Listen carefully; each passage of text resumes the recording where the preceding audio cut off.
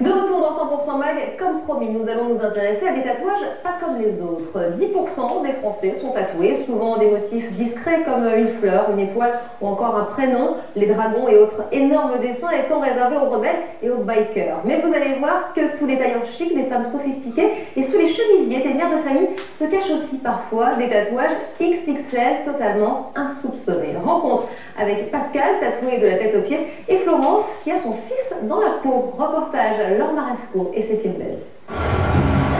Pascal a 26 ans, elle est tapissière. À première vue, elle ressemble à toutes les jeunes filles de son âge. À première vue seulement, car sous sa petite chemise cintrée, ce bout de femme cache une passion plutôt singulière. J'ai fait ce dragon sur le bras. Un an après, j'ai fait l'autre dragon, où là j'ai commencé à introduire de la couleur. Après, je me suis fait les corbeaux avec le cerisier japonais. Il y a deux ans, j'ai fait le dos. C'est le plus gros tatouage que j'ai. Pascal n'est pas la seule à s'être fait piquer par le virus du tatouage. Florence a 45 ans, elle est agent d'assurance, mère de deux enfants et contre toute attente, elle aussi est adepte du tatouage XXL. J'ai découvert le tatouage à l'âge de 30 ans. Tout de suite, j'ai vu grand. Il y a encore quelques années, le tatouage était l'apanage des rebelles. Aujourd'hui, il est furieusement tendance. Un Français sur dix est tatoué. Mais du petit lézard sur la cheville au dragon qui s'empare du corps entier, il y a une sacrée marge. Mère de famille, infirmière ou assistante de direction, elles sont de plus en plus nombreuses à cultiver un drôle de jardin secret sous une apparence on ne peut plus classique. Le seul truc qui me limitera, ça sera la place un jour. Alors qui sont ces accros à l'encre qui préfèrent l'aiguille au shopping? Bonjour, vous allez bien Oui, vous Je suis venue voir pour mon fauteuil. Ben voilà, il est fini. Ah, Pascal vient de tapisser ce fauteuil pour l'une de ses clientes. Elle exerce en effet un métier d'art très traditionnel. Ces tatouages auraient pu l'handicaper, et pourtant... Quelqu'un de normal, euh, entre guillemets, quand on le voit, bon, bah, on l'oublie. Là, moi, on se souvient de moi, même si c'est peut-être pas pour des bonnes raisons, on se souvient toujours de moi. Donc, euh, ça peut être un plus, même par rapport à mon travail. Justement, comment les clients perçoivent-ils les tatouages de notre jeune tapissière? Je me doutais pas que Pascal avait autant de tatouages, donc j'étais assez surprise. Mais c'est pas quelque chose qui va me choquer. Et c'est devenu un phénomène de mode, malgré tout le, le tatouage. À Certes plus facile à assumer dans les professions artistiques, le tatouage est parvenu à jeter l'encre dans tous les milieux. Stéphane Schotzeg, tatoueur depuis plus de 20 ans, sait à quel point les apparences sont parfois trompeuses. C'est pas parce qu'on est tatoué qu'on le montre. Sous le costume cravate, la blouse de l'infirmière ou la robe de l'avocat, on trouve des tatouages XXL insoupçonnés.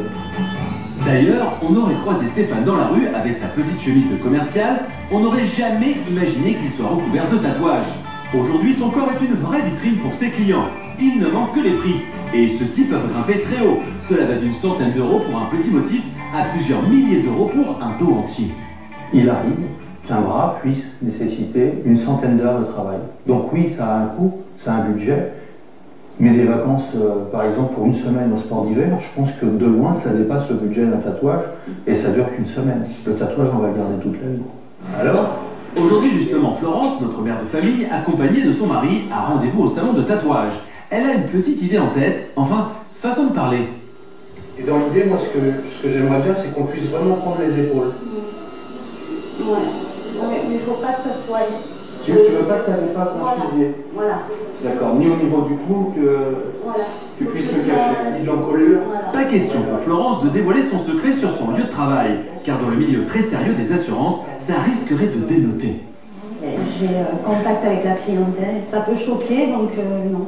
Il est hors de question que euh, au boulot, j'y aille avec euh, un petit débardeur. euh, C'est impossible. Impossible, d'autant plus que son tatouage est très particulier. Ce n'est ni plus ni moins que le portrait de son fils lorsqu'il avait 6 ans. Et les cornes de bélier sur un visage angélique, forcément ça ne fait pas l'unanimité. Ça, pour choquer, euh, ça choque plusieurs personnes, ça c'est sûr. Les gens ne se mettent pas euh, dans l'idée que c'est simplement un dessin, une œuvre d'art, qui n'ont rien à voir avec quelque chose de, de diabolique. hein. En tout cas, à la maison, Florence a fait des émules. Guy, son mari, adepte lui aussi du tatouage, a décidé d'offrir une place de choix à leur deuxième fils, sur sa cuisse. Vu que le petit, euh, il se demandait pourquoi son grand frère était sur le, sur le dos de maman, donc euh, ben, j'ai dit, ben, si tu veux, ben, je peux le faire sur moi. On peut dire qu'on a nos enfants dans la peau pour la vie. Exact, c'est ça, à vie. Une jolie déclaration d'amour, mais pour les enfants, n'est-ce pas un cadeau empoisonné? Pendant des années, Florence a caché son tatouage, mais aujourd'hui, elle décide de l'offrir à la vue de tous. Et forcément, elle ne passe pas inaperçue. Mais Nicolas, aujourd'hui âgé de 18 ans, est très touché par la démarche de sa maman. Ce tatouage, je l'ai pris comme si c'était un cadeau, parce que quand elle est venue me voir, elle m'a dit Nicolas, j'ai une surprise pour toi. Elle s'est tournée, elle m'a montré ce tatouage, et j'étais super émue euh, de ce tatouage. Aujourd'hui encore, je suis fière de le montrer aux gens que j'aime, parce qu'ils savent à quel point j'aime ma mère, et à quel point elle est importante pour moi. Et c'est la plus belle part de moi. C'est ce qu'il a dire mon fils.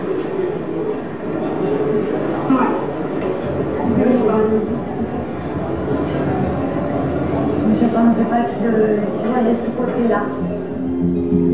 Pour Florence, le regard de son fils est le plus important. La vie des autres ne compte pas vraiment. Mais elle a accepté de se confronter aux a priori. Alors, comment est-elle perçue lorsqu'elle dissimule son tatouage? Plutôt classique. Très très sobre. Pas très original. Euh, ouais, femme, mère de famille. euh, euh, non, je la verrais pas vraiment avec un tatouage. euh, pas plus que ça, non. Méfiez-vous des apparences. Alors, bluffez Ah oui, mais euh, il, il est, il est là. Ah, je m'attendais pas à ça. D'accord. Pourquoi pas? Ça lui donne un style et, et puis ouais, de l'originalité en effet. Et puis ça lui va plutôt bien. En voilà donc qui ne regarderont plus leur banquière, fromagère ou notaire de la même manière. Salut Caro Ça va? Ouais. Dans son village de l'arrière-pays niçois, Pascal rend une petite visite à ses parents. Des parents qui, eux, n'ont jamais compris cette passion envahissante. Salut Aujourd'hui, Pascal leur réserve une petite surprise qui risque une fois de plus de faire couler beaucoup d'encre. Je vais me refaire tatouer là, euh, au mois de janvier. Encore, hein, moi, je trouve que tu en avais déjà assez, hein, comme ça, personnellement. Je trouvais que c'était suffisant. Moi, dans mon imagination, le tatouage, c'était un petit truc ici, un petit truc là, enfin, comme on voit chez, chez beaucoup de jeunes, là. Un petit papillon, un petit, un petit dragon, et pas un dragon qui partait d'en haut du bras jusqu'en bas. Comment ça va être là Et quand on est parent, forcément, on s'inquiète.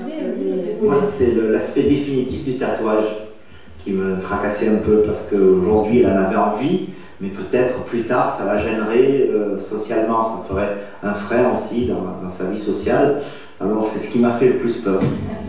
Plus de peur que de mal, car jusqu'ici, ni Pascal ni Florence ne regrettent un instant leur tatouage XXL. Bien au contraire, elles sont très fières d'arborer ces œuvres d'art. 100% Break, c'est terminé pour aujourd'hui. Merci à la rédaction ainsi qu'aux équipes techniques. Merci à vous d'avoir été avec nous. Je vous souhaite une excellente fin de soirée sur M6. À demain.